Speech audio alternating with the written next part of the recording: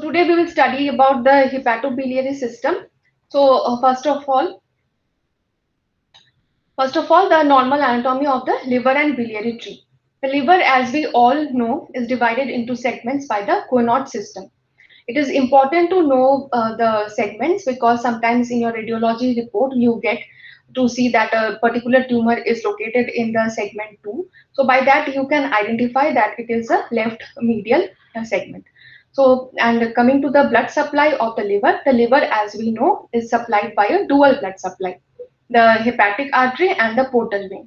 The portal vein uh, carries about 70 to 80% of the blood, and the blood is of venous type and uh, or the deoxygenated blood.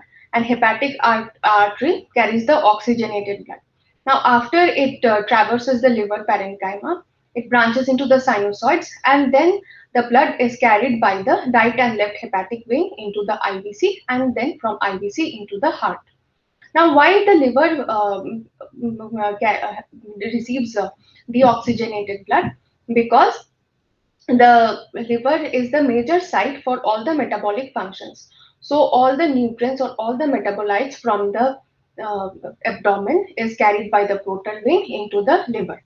Now coming to the ductal architecture of the liver, the liver uh, is uh, drained by the left and right hepatic duct, and the left and right hepatic duct forms the common hepatic duct, which is then joined by the cystic duct, and this forms the common bile duct, which enter, enters the second part of duodenum after it is joined by the pancreatic duct.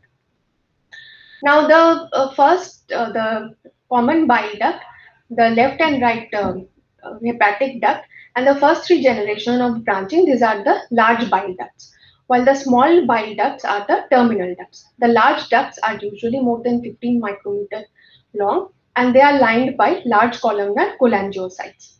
The small ducts, on the other hand, are lined by cuboidal cholangiocytes. Now, there are certain diseases which afflicts the uh, uh, bile ducts of different calibers. Like the large bile, large bile ducts are uh, afflicted uh, by a disease called primary sclerosing cholangitis, and the small bile ducts are usually afflicted by the primary biliary cholangitis. So, so it is important to know the biliary architecture also. Now, after uh, looking into the gross anatomy, what is the microanatomy of the liver? Now, the microanatomy of the liver was suggested uh, by Kiernan in 1833, which was a lobular architecture in which the central vein, as the name is uh, suggestive, it is located in the center, and then it is surrounded by uh, five to six uh, portal tracts. Now, Rappaport in 1954, he suggested an acinar architecture for the same, in which he divided the liver into three zones. Zone 1, which is the periportal or perivenous region. Zone 2, which is the centrizonal region and the uh, zone 3 which is the pericentral region. Now different zones have different functions. The zone uh, 1 which is uh, near to the portal tract or which um, encases the portal tract, this is uh, rich in oxygen supply as the blood supply is, comes in this region and from this region it goes in the direction of the central vein.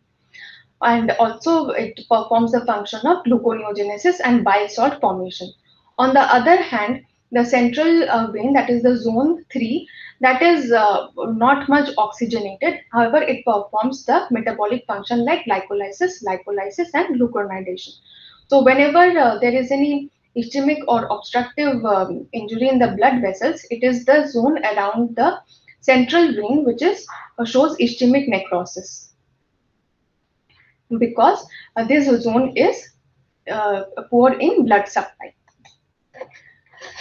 Now, looking into the further details, when we see the liver acinas, we can find that the portal tract contains an hepatic artery, a portal vein, and a bile duct. Now, these hepatocytes, these are arranged in the form of connecting uh, trabeculae, and these are usually single plate in thickness and usually waved on both sides by the sinusoidal blood. Now, what is the difference between the sinusoid and capillaries? In liver, we, we usually do not find capillaries. It is the sinusoids instead of capillaries. Now, the, the difference between a capillary and a sinusoid is the sinusoid usually shows a large number of fenestrations because the metabolites has to pass from the blood into the liver for its metabolism. and also it doesn't have a basement membrane. So these are the two features which differentiates a capillary and a penis um, and a sinusoid. Now, uh, when we see a cross section of suppose this part, we can see that the sinusoids, like any uh, blood vessel, is uh, having an endothelial lining. Now, abutting this endothelial lining are the macrophage uh, cells, that is the Kupffer cells in liver. Just uh, beneath the uh, endothelial lining and the hepatocytes, there is a potential space which is called the space of Disse. Now, this space of Disse contains the stellate cells. Now, what are the functions of this stellate cell? The stellate cell is also named stellate cell of Ito. It has, uh, it is a storage site of vitamin A, and also when there is liver cirrhosis, this stellate cell is modified into a myofibroblast, and this can cause fibrosis or cirrhosis of the liver. And the hepatocytes are uh, seen to project into the space of Disse uh, the, in the form of hepatocytic microvilli. Now the two hepatocytes, these are uh, this show that there is a bile canaliculi in between the two adjoining hepatocytes, which drains the bile into the bile uh, ductule. And from the bile canaliculus, it goes to the canal of Hering, and from there into the ductule, and ultimately into the bile duct. And from there, it goes to the right and left hepatic duct, common bile duct, and enters the uh, intestine. Now, if we look into the histology of normal liver, we can uh, find that the ones which are marked in red, these are the central vein. And the ones which are marked in blue, these are the portal tracts. So we can imagine uh, the lobular architecture given by Kiernan as it can be seen the central vein is located in the center and it is surrounded by uh, 4 to uh, 5 portal tracts. Now when we uh, magnify the area of the central vein, we can see that that is a large central vein and we can see the hepatocytes which are usually single plate thickness and it contains abundant eosinophilic cytoplasm. We can also see uh, some gray, uh, some brownish pigments here. These are the lipofuscin pigments. If we magnify the blue area, the blue circle, that is the portal tract, as it is known, this is a portal tract. So we can see the central vein, the hepatic artery, and the bile duct. Now, though it is called a tract, but sometimes we cannot see a tract. Sometimes it is a diet where we can see only a bile duct or and a hepatic artery, bile duct and hepatic vein, because uh, these uh, things are branching structures, and as we uh, go further in the branching and as uh, cuts are taken, so this can diminish in number. So instead of tract, this can be also. Now coming to uh, another stain that is the Masson trichrome stain. The Masson trichrome stain, as the name suggests, it is a tricolor stain that is trichrome. In this, the fibrosis is highlighted in blue, the cytoplasm and muscle is in pink, and the nucleus is either blue or black. So in normal liver architecture, we can see some sort of collagen is present only around the portal tract and some around the central vein the normal liver doesn't show any fibrosis. This is important to know because when there is cirrhosis or any other fibrosis condition, we can see bridging fibrosis, like bands of fibrosis will be seen bridging from one portal tract to another portal tract or portal tract to central vein. And also there can be perisinusoidal fibrosis. Now after the anatomy, let us discuss the biochemical hepatocytic function. Now hepato now, the liver is uh, the site where the, all the major metabolic functions take place. So, what are the functions involved? First of all, the synthetic functions like the protein synthesis, the albumin. Almost 100% um, of protein synthesis occurs in the liver, and 90% of the albumin uh, is synthesized in the liver. The various coagulation factors, except for von Willebrand factor, that is synthesized in the liver, also the protective complement factors, then haptoglobulin, the copper containing protein ceruloplasmin, the iron uh, binding protein transferrin, protease inhibitors, alpha 1 antitrypsin, these all are synthesized in the liver. Then also in the involved in nutrient metabolism like the carbohydrate, protein, and lipid metabolism. It is also the storage site of iron, copper, and vitamins like vitamin A, D, B12. And after metabolism, the liver is also involved in the excretion of bile salt, bilirubin, drugs, cholesterol, and phospholipid. And also the liver per performs immune function, like we have the macrophage system, the Kupffer cells, which are present in the liver, and also some innate factors like defensins are secreted by the liver. Now coming to an important component which is secreted by the liver, that is bile. Bile is produced in the liver and stored in the gallbladder. And when any fatty meal or otherwise meal is taken, this bile is released from the gallbladder. And this helps in absorption, that is emulsification of fat and solubilizes the fat. Now, what is it composed of? Bile is composed of bile salt, the phospholipids, cholesterol, and bile pigment, that is bilirubin. Now coming to the bilirubin metabolism. Now what is bilirubin? Bilirubin is the water insoluble breakdown product of normal heme catabolism. It is a greenish yellow color that is excreted in urine, bile and feces. It involves four steps. What is what first is the formation of bilirubin. It is formed mainly from the heme iron and 80% of which is derived from hemoglobin and 20% from other heme protein like cytochrome, catalase peroxidase and myoglobin. After formation, it has it comes into the, the, plasma and then it has to be transported. So the transport protein involved is albumin. Then the hepatic phase where the hepatic uptake takes place, then the conjugation of this bilirubin occurs and then biliary excretion and lastly after biliary excretion intestinal excretion. Now coming to the steps one by one, first is bilirubin formation. Now, bilirubin, as I said, is derived mainly from the heme protein and of which hemoglobin is the main source. We know the lifespan of RBC is about 60 to 120 days. However, in hemolytic anemia and uh, other disorders of um, hemoglobin uh, synthesis, the RBCs, there is a brisk destruction of RBCs. Now, this old RBCs, this can be destroyed extravascularly in the spleen, which is the reticuloendothelial system, or intravascularly within the blood vessel. From this, hemoglobin is released. This hemoglobin contains heme and globin. After the breakdown of globin into amino acids that is stored in the body, now uh, heme with the help of heme oxygenase is converted to bilirubin and um, free iron. Free iron is stored and used uh, further for erythropoiesis while biliverdin with the help of biliverdin reductase is converted to free bilirubin. Now this free bilirubin circulates into the plasma. So this step is over where there is uh, heme generation, biliverdin formation and ultimately free bilirubin forms. Now this free bilirubin cannot move freely in the plasma because of two things. First of all, it is hydrophobic. Second, if there is free bilirubin in the plasma, this bilirubin is lipid loving. So this can cross the blood-brain barrier and it can cause kernicterus. So it has to be combined with albumin. The body has devised a protective mechanism by combining into albumin so that this hydrophobic bilirubin um, is converted to a soluble form and it can be uh, taken to liver for further conjugation.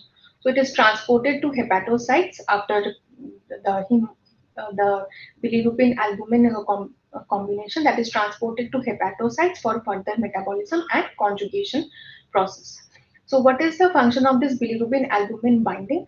What is uh, one is to increase the solubility of this um, hydrophobic free bilirubin, and another is to prevent this unconjugated lipid-loving bilirubin to cross the prevent it crossing the blood-brain barrier. Now, one important thing one should remember is drugs such as sulfonamides and salicylates, this can compete with bilirubin from albumin binding and this can displace the bilirubin.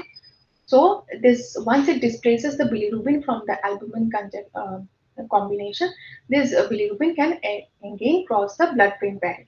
So one has to be careful while administering sulfonamides and salicylates in a jaundiced child. Now after the first step, the second step is hepatic uptake. In the hepatic uptake, this bilirubin and albumin conjugation, this combines with certain proteins like the YZ protein, and then through ligandin, it is taken to the smooth endoplasmic reticulum where the conjugation process takes place. Now, uh, the bilirubin-albumin um, combination is broken down here, and then the bilirubin, with the help of uh, uh, 2-uridine diphosphoglucuronic acid that is um, converted uh, with the help of the enzyme glucuronyl transferase to 2-uridine diphosphoglucuronic acid. This is called the conjugated bilirubin. So about 80% of the bilirubin is conjugated, 20% of the rest bilirubin conjugate with sulfate and other substances. Now this conjugated bilirubin is then secreted into the bile canaliculi and from the bile canaliculi it enters the CBD and goes to the intestine. Now, what happens in the intestine? Now, in when once it reaches the intestine and colon, 70% of uh, this is converted by the colonic bacteria into stercobilin, uh, and it is excreted in the stool. And uh, the remaining, what happens to the remaining 30%? Of this 20% undergoes enterohepatic circulation, that is, it uh, goes into the blood and again through the portal vein, it goes into the liver it again undergoes uh, conjugation and then it follows an enterohepatic circulation. However, 10% escapes this enterohepatic circulation that is converted into urobilinogen and then it is excreted through the kidney in the form of urobilin, which is a water soluble compound. Coming to a glucuronyl transferase, which is an enzyme which helps in conjugation now, the glucuronyl transferase system that is present in the smooth endoplasmic reticulum, the, the steroids and various drugs, these other compounds can also compete with bilirubin for the enzyme system when they are present in appreciable amounts. So when these drugs are present, this uh, can prevent the conjugation and this will in turn uh, give rise to uh, unconjugated hyperbilirubinemia. Another interaction is that of barbiturates, antihistamines, anticonvulsants, and other compounds. Now, what does these compounds do? This causes marked proliferation of smooth endoplasmic reticulum in the hepatic cells. And we know that this is the site for conjugation. So this will increase the glucuronyl transferase activity and help in conjugation of the bilirubin. Now, this effect is put into use in a syndrome called the Crigler-Najjar syndrome, which is characterized by complete deficiency, which is uh, characterized by partial deficiency of glucuronyl transferase activity. Crigler-Najjar syndrome type 1 is characterized by complete deficiency. However, the Crigler-Najjar syndrome type 2 that has partial deficiency. So, if we give administer any compound which can increase the conjugation of the, the bilirubin, this can uh, alleviate the um, level of unconjugated hyperbilirubinemia in these patients. Now coming to the metabolism of uh, bile salts, we know that there are two types of primary bile salts, the cholic acid and chenodeoxycholic acid, which are derived from the cholesterol. And then these are with the help of the, uh, this combines with taurine or glycine, and then they are converted into the secondary bile acid that was deoxycholic acid and lithocholic acid. Now this um, bilirubin and bile salts, these are exported through certain pumps in the bile canaliculi. Three are very important that is the multidrug resistance protein 2, bile salt exporter pump and multidrug resistance 3. Now these proteins help, uh, these pumps help in exporting bilirubin and bile salt from the hepatocytes into the canalicular system and then to the bile duct system. So if anyhow this um, transport proteins are also damaged, this will lead to accumulation of bilirubin and bile salt, which will be of conjugated type. Now coming to the difference between unconjugated or indirect bilirubin and conjugated and direct bilirubin, which is also called cholebilirubin. Now unconjugated bilirubin, as I said, is hydrophobic, so it is bound to albumin on the other hand, conjugated bilirubin is bound to glucuronic acid. Unconjugated bilirubin in normal circumstances is a G form of bilirubin in blood, while conjugated bilirubin is present in very low concentrations. Unconjugated bilirubin is water insoluble, lipid soluble, and so it can cross the blood-brain barrier. On the other hand, conjugated bilirubin is water soluble.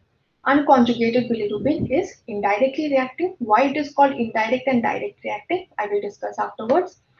Now, being uh, water insoluble, it is not filtered in the inner glomeruli, so it is absent in urine. However, conjugated bilirubin, being water soluble, can be present in urine. And also because conjugated bilirubin is uh, water soluble and not lipid loving. It cannot cross the blood brain barrier. Now, what are the common clinical problems and manifestations of liver and biliary disease? Now, one of the most common manifestation is jaundice. The other is hepatomegaly, then um, spider nevi, which is a manifestation of hepatic encephalopathy. Then there can be uh, acute abdominal pain like in hepatitis or any obstructive disorders like uh, impaction of stone in the bile duct then chronic abdominal pain, confusion and coma that is again present in hepatic encephalopathy, breast enlargement that is also present in hepatic encephalopathy, itching which is present in obstructive jaundice due to accumulation of bile salts, splenomegaly which is a consequence of portal hypertension, abdominal swelling which is present uh, because of cirrhosis and liver failure, tremors which is again a manifestation of hepatic encephalopathy. Besides that, muscle wasting and edema can also be seen. Now coming to the pathophysiology of jaundice. Now four steps are involved. So all these steps, if these are disordered, this can lead to lead to uh, the patho to causation of jaundice. The first step is increase in the bilirubin production, either because of ineffective erythropoiesis. Next step is if there is a decrease in the hepatic uptake, or even if there is a decrease in the hepatic uptake, the conjugation process is different. So up to this step, the whatever bilirubin is will be formed, this will be of unconjugated type. Then the last step is excretion of the bile through the canaliculus. If there is defect in this step, the conjugation process has already occurred, so this will be of conjugated type. Now, what are the causes of isolated hyperbilirubinemia? There is a long list. You can go through your text. It is given in Harrison. So the only isolated hyperbilirubinemia can be present in hemolytic disorder, which can be present in either inherited conditions like the membrane disorders, spherocytosis, erythrocytosis, or enzyme disorders and sickle cell anemia, or acquired conditions like microangiopathic hemolytic anemia, PNH, or certain parasitic infections like malaria and babesiosis. It can also be due to ineffective erythropoiesis due to nutrient deficiency or increased bilirubin production either due to massive blood transfusion or resorption of some hematoma. Now, why there will be other cause being decreased hepatic uptake, the second um, step in bilirubin uh, metabolism, which can be either because of drugs, prolonged starvation, or sepsis. Then, after uptake, there can be the next step is conjugation. If there is decrease in bilirubin conjugation because of defect or deficiency of the enzyme, mm, the glucuronide transferase enzyme. So certain conditions are inherited like the Gilbert syndrome, Crigler-Najjar syndrome or acquired defects in activity due to drugs, hepatitis or cirrhosis. Now what are the hepatocellular causes? The hepatocellular causes can be hepatitis due to any reason, either viral hepatitis, alcoholic hepatitis or drug toxicity or can be due to environmental toxins or some other disease like Wilson's disease also cholestatic conditions that can be again divided into intrahepatic and extrahepatic causes. The intrahepatic cause again like viral hepatitis. Now viral hepatitis apart from uh, affecting the liver, it can also injure the adjoining bile canaliculum. So this can in turn give rise to cholestatic hepatitis. And also goes the same for the alcoholic hepatitis. Besides, some drugs can also cause cholestasis.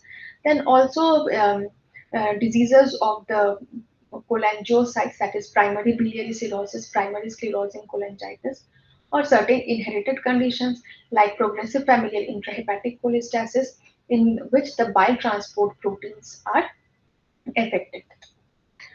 Besides that, cholestasis can also be seen in pregnancy, total parenteral nutrition, and other causes. Now, what are the extrahepatic causes? Extrahepatic means outside the hepatocytes. So, this usually includes the a common bile duct or, or, the hepatic common hepatic duct.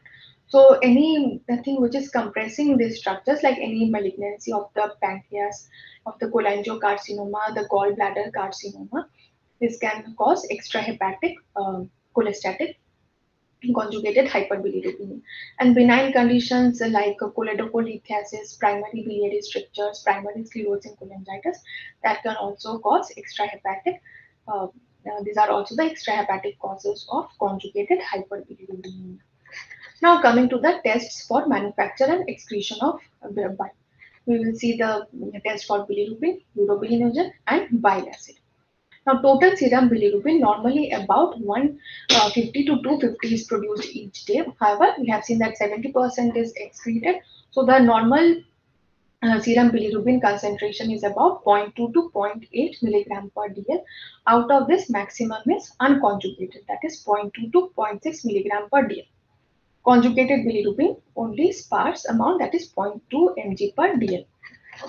Now coming to van den Bergh reaction. From this, we will know why it is called direct and indirect reaction. In this, we use the van den Bergh reagent, which is a diazotized sulfanilic acid containing equal volume of sulfanilic acid and dilute hydrochloric acid and sodium nitrate. Uh, this is added to the serum, which is supposed to contain bilirubin in a patient. If there is uh, formation of this purple colored azobilirubin within 30 seconds to 1 minute. This is the direct uh, fraction or this is the conjugated bilirubin and this is uh, the cause being obstructive jaundice. Now, if uh, the reaction is not instantaneous and if we add ethanol, that is alcohol, and then we uh, get this purple colored uh, compound, then this is called indirect positive, which is present in hemolytic jaundice. Now, sometimes what happens, the purple color develops, but the intensity is not as it is supposed to be conjugated um, hyperbilirubinemia. However, when we add methanol to this reagent, this color develops. That means both conjugated and unconjugated bilirubin is present, which is present in hepatic jaundice. Now coming to bilirubin in urine. Now normally bilirubin is absent in urine. Whatever is present is urobilinogen, which is after uh, the it is converted the conjugated bilirubin is converted by the bacteria uh, colonial bacteria into a pigment urobilinogen. Only that is present. So what will happen in obstructive jaundice? Because in obstructive uh, jaundice the bilirubin cannot be conjugated at uh, all or uh, sorry the bilirubin can be is conjugated type which is uh, water soluble the because of obstruction, there will be backflow of this uh, conjugated bilirubin from hepatocytes into the blood flow. And from there, this conjugated bilirubin being water soluble will be excreted in urine. So the urine will be positive for bilirubin. While urobilinogen, as there is obstruction, the conjugated bilirubin cannot come to the intestine and it cannot be converted to urobilinogen. Urobilinogen will be absent. While what will happen in hemolytic jaundice? In hemolytic jaundice, it is of unconjugated type. So large amount of uh, bilirubin after conjugation will come into the intestine, which can be converted into urobilinogen. So urobilinogen level will be increased. However, bilirubin will be absent. That is, there will be no conjugated bilirubin. Same goes with fecal urobilinogen. In hemolytic jaundice, it will be increased and there will be dark feces, while in obstructive jaundice, the fecal urobilinogen will be absent and the feces will appear pale. Now, um, after uh, looking into the uh, various uh, tests, uh, can you interpret these uh, results? So what will happen in hemolytic or prehepatic jaundice? Now, in pre-hemolytic or prehepatic uh, jaundice, the bilirubin will be of unconjugated type. So the conjugated bilirubin level will be normal unconjugated bilirubin will be elevated. Also, it can uh, come um, into the intestine and converted to urobilinogen. So, urobilinogen level will be increased. However, urine bilirubin will be absent because uh, conjugated bilirubin level is normal. What will be happening in hepatitis? In hepatitis, we know that both conjugated and unconjugated bilirubin will be increased. So, as we can see here, it is increased. Urobilinogen it will be either normal or uh, it will be decreased in case uh, there is micro-obstruction in the bile ducts. Urine bilirubin as some amount of conjugated bilirubin will be present, so it can be present. Now, what will happen in obstructive or post-hepatic jaundice? In obstructive or post-hepatic jaundice, the bilirubin will be of conjugated type. So, the conjugated will be elevated, the unconjugated will be either normal or low, Urobilinogen will be completely absent as the conjugated bilirubin cannot come into the intestine. And as this conjugated bilirubin will there will be backflow into the blood, it will be water soluble, so it will be present in the urine. Now coming to the test of liver function. Now uh, the enzymatic uh, test, the enzymes has different localization. As we can see, it can be either located in the canaliculi and the enzymes involved are the gamma glutamyl transpeptide or alkaline phosphatase. The ones which are present within the uh, cytosol of the hepatocytes, these are the AST or ALT. Now, one thing one should remember is that the AST is also present in the mitochondria. The importance of knowing this is that in alcoholic hepatitis, the mitochondria is damaged, so the AST will be raised more raised as compared to ALT. While in case of hepatitis where there is hepatic injury, the ALT will be uh, more raised as compared to AST. And uh, also uh, the glutamyl transpeptide is located within the microsomes also. The importance of knowing this is that some of the anticonvulsants like phenytoin and valproate, this uh, can induce the microsomal enzyme system uh, for its metabolism. So these uh, drugs can show increased GGT levels in hepatic, we perform the hepatic profile of these patients. Apart from that, the other enzymes which are present are 5-nucleotidase, lactate dehydrogenase, and cholinesterase. Now coming to them, the AST or SGOT, that the normal level is up to 40 microliter. It is uh, not uh, uh, limited to liver only. It can be present apart from liver. It is present in heart, muscle, kidney, and RBCs. So therefore, it can be increased apart from hepatocellular disease. It can be present in rhabdomyolysis also when there will be release of this enzyme from the muscles, in myocardial infarction, in hemolysis also when it is released from the RBCs. Also, the half-life is 17 hours. By half-life, one means the time which uh, the drug uh, takes to come to half of its concentration.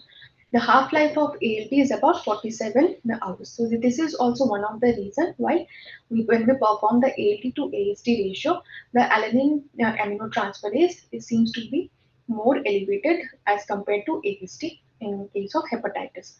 Now, apart from liver, it is also present in kidney. So that is, it can be increased in hepatocellular disease and biliary disease. Now, if we compare the AST to ALT levels, now ALT to AST, that is, uh, this profile is seen in most chronic liver disease, which is not caused by alcohol until cirrhosis develops. While in alcoholic liver disease, it is seen that AST is more elevated to ALT. That is because of the mitochondrial damage also and AST release from the mitochondria. However, if the AST to ALT ratio is more than 5, we have to search for other sites of release of um, AST also like in rhabdomyolysis and acute myocardial infarction. So this is the uh, level of uh, elevation of these enzymes in different etiologies. We can see in acetaminophen overdose and in ischemic hepatitis and in acute viral hepatitis, the level can go uh, more than thousands. While in case of chronic viral hepatitis, they reach um, hardly up to 300 to 400 in alcoholic hepatitis, the AST can uh, range up to 400 to 500. Now coming to other enzymes, the lactate dehydrogenase, there are five isoenzymes recognized. However, LD4 and LD5 are uh, mainly present in liver and kidney. And uh, a combined rise of both lactate dehydrogenase and alkaline phosphatase hints towards a uh, diagnosis of uh, liver space occupying lesion, either a metastasis, hepatocellular carcinoma, hemangioma, or an adenoma. Now, enzymes which primarily reflecting the canalicular injury. As I said, uh, two enzymes that is alkaline phosphatase and gamma GT, these have called canalicular localization. So whenever there is canalicular injury, these are the enzymes which are likely to be affected. So increased alkaline uh, alkaline phosphatase is present apart from liver in bone, kidney, intestine, and placenta, and it can be increased in uh, the diseases of the bile duct, like in ascending cholangitis, obstructive cholestasis, and also some other non-hepatic conditions like high bone turnover or bone loss. Similarly, gamma GT, this can be increased in cholestasis, chronic alcohol abuse, obstructive disorders, or space occupying lesion or some other uh, drugs like the uh, anticonvulsants because it induces the microsomal enzyme system. Now, how do we interpret this? When there is um, mild to moderate elevation of alkaline phosphatase and GGT, it is either hepatic or biliary disease. Suppose alkaline phosphatase is severely elevated and GGT is also elevated, it hints towards a biliary disease. Only alkaline phosphatase is elevated, GGT is normal, it hints towards a bone disease, while if only GGT is elevated, it is mainly due to alcohol use. Now coming to synthetic functions, as we have seen that most of the 90% uh, of the protein is secreted uh, in the liver and about 100% uh, of albumin is synthesized in liver. So whenever there is any chronic liver disease, the synthetic functions will also go down. However, we need to rule out other causes of hypoalbuminemia and uh, decreased protein like renal disease, malnutrition, protein uh, losing enteropathy or any chronic inflammatory disease. Now, what are the other serum proteins which are evaluated? Alpha-1 antitrypsin, ceruloplasmin, which we evaluate in Wilson's disease, and clotting factors. Now, the clotting factors are also synthesized in the liver.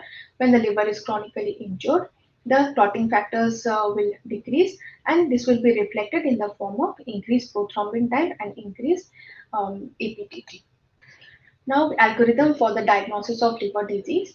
So, uh, what uh, you can infer from this, suppose ALT or AST is three times the normal, but ALP is less than two times the normal peak.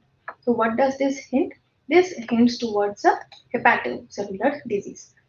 And while if the AST and ALT is not much elevated as compared to ALP, ALP alkaline phosphatase as, as it is a canalicular protein, this hints towards a cholestatic disorder. Now, if the albumin is normal, means the this process is acute. So this is an acute hepatitis. If albumin low, chronic hepatitis. Similarly goes for this cholestatic disorder. Now, in acute cholestasis, if there is high GGT, then this supports a intrahepatic cholestasis. While if the GGT is not that elevated, then this is an extrahepatic cholestasis. Now, another important metabolite which is uh, synthesized, which is metabolized in the liver is ammonia. Now, ammonia, after it is transported through portal vein into the liver, this is metabolized in the liver into urea. Uh, liver has liver is the only site which um, has the Krebs uh, cycle or the Krebs Henseleit cycle by which it is converted to urea and then it is excreted in urine. So if there is any chronic liver disease like alcoholic cirrhosis or hepatic encephalopathy, this ammonia cannot be metabolized and this ammonia is then crosses the blood-brain barrier and this can cause hepatic encephalopathy. So this uh, metabolite is also evaluated in chronic liver disease or hepatic encephalopathy. Coming to enzyme, uh, coming to the um, uh, protein that is alpha fetoprotein. This is mainly used for in liver tumors, which is synthesized by the embryonic hepatocytes and fetal yolk sac cells and peaks in the second trimester of pregnancy. Now, shortly after birth, AFP levels fall and it reaches the normal range around one year of age. So, uh, one has to render caution while evaluating the AFP levels in children below one year of age because they can be slightly elevated. If it is more than 400 nanogram per deciliter, there is high probability of hepatocellular carcinoma. However, elevated levels can also be seen in some acute liver disease and fibrosis. So, what are the liver function tests? If we go alphabetically, it is for A it is albumin, the AG ratio, alpha-1 antitrypsin.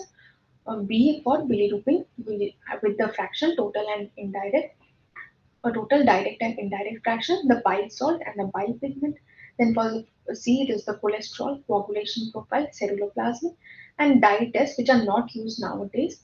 For E, the enzymatic levels like the hepatic and obstructive um, enzyme F for ferritin and fetoprotein, G for globulin on the galactose tolerance test, which is performed in patients of galactosemia or glycogen storage disorder. Uric acid excretion test, again to see the liver function, not performed nowadays. Immunological test, which is performed uh, in case of autoimmune hepatitis, where we uh, see the ANA levels and the immunoglobulin levels.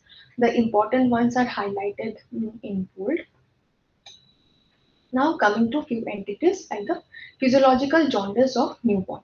Now in uh, newborn up to uh, uh, first 14 days, that is two to three weeks, there is decreased levels of this uh, uridine diphosphoglucuronate uh, glucuronidase transferase enzyme. So the patients have some sort of unconjugated hyperbilirubinemia because the conjugation enzyme is um, is uh, not uh, present up to that level. Uh, but this is a transient uh, uh, feature and mild unconjugated hyperbilirubinemia is present in first week.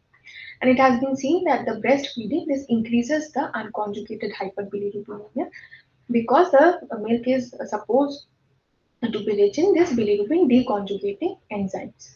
That's why phototherapy is administered um, in these uh, children. Um, what does phototherapy does? Now the phototherapy converts the uh, trans form, which is more uh, water insoluble, to a conjugated form, that is the cis form. So by this, uh, whatever unconjugated bilirubin is formed, that is excreted in urine. Now coming to some other syndromes, that is uh, the syndrome associated with indirect or unconjugated bilirubin are the Crigler-Najjar syndrome and Gilbert syndrome. Now the type 1 Crigler-Najjar syndrome is very much fatal. It can show level uh, more than 20 uh, uh, milligram per deciliter and it will show no response to phenobarbital because the uridine diphosphoglucuronidase transferase activity is completely absent. So even if we give administer phenobarbital, the action of this enzyme cannot be raised. However, in type 2, some activity is present. So if we administer phenobarbital, which um, we have seen, which increases uh, the, uh, uh, this enzyme level, the uridine diphosphoglucuronidase transferase activity within the smooth endoplasmic reticulum where the conjugation takes place. So this can decrease the bilirubin level by more than 25%. The conjugate uh, Gilbert syndrome usually manifests around uh, adolescent age group. And uh, in this uh, some amount of uh, enzyme activity is present. So it is not that fatal. And the liver if we do a liver biopsy the liver biopsy will appear completely normal. The enzymes will be completely normal. These are this only causes isolated hyperbilirubinemia of unconjugated type. Now there are some other disorders, uh, mainly of the bile canalicular function, like the Dubin-Johnson syndrome, Rotor syndrome. Now, in the Dubin-Johnson uh, syndrome, is the only liver uh, inheritable uh, liver disorder uh, which uh, shows some liver abnormality in the form of when we see the gross examination of the liver, it appears grayish black in color. And when we look into the liver biopsy, it shows some golden brown pigment and with the help of uh, the uh, melanin stain that is Masson Fontana it appears black in color. Now this uh, pigment is thought to be something between lipofuscin and melanin. Uh, that's why it can be stained both with PAS and it also be uh, can also be stained with Masson Fontana. Rotor syndrome is otherwise normal, but um, this will show these two diseases, Stevens-Johnson syndrome and Rotor syndrome, as the conjugation process has already occurred, it will show conjugated hyperbilirubinemia. And also, as I have discussed, if the biliary transport proteins in the canaliculi, these are mutated or damaged in a way, this can also cause um, hyperbilirubinemia of the conjugated type, which is PFIC1, PFIC2, and PFIC3. Now, these disorders are usually characterized by bland canalicular cholestasis only. However, the type 2 can so show some giant cell transformation and type 3 shows features of biliary cirrhosis, shows features of cirrhosis. Now, neonatal cholestasis, what are the major causes of neonatal cholestasis? It can be either of obstructive type, which is more common, or it can be due to infection or some genetic disorders, which can be metabolic disorders like tyrosinemia, galactosemia, some lipid storage disorders, some cystic fibrosis, alpha-1 antitrypsin. Alagille syndrome is a type of syndromic uh, disease where there is paucity of bile ducts. We have seen that um, every portal tract contains one bile duct. In this disorder, we uh, look for the ratio of the number of bile ducts and the number of portal tracts and if the ratio is less than 0.5, we say that there is paucity of bile ducts.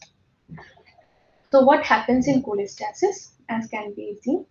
We can, um, the transport proteins are malfunction or in obstruction is there, there can be canalicular cholestasis.